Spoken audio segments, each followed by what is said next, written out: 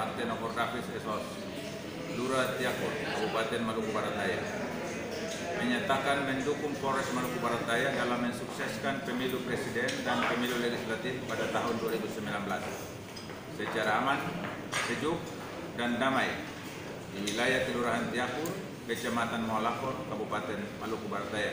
Albedo.